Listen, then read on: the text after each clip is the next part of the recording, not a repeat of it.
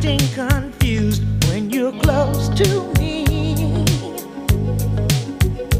If I tend to look dazed, I read it someplace. I've got cause to be. There's a name for it. There's a phrase that fits. But whatever the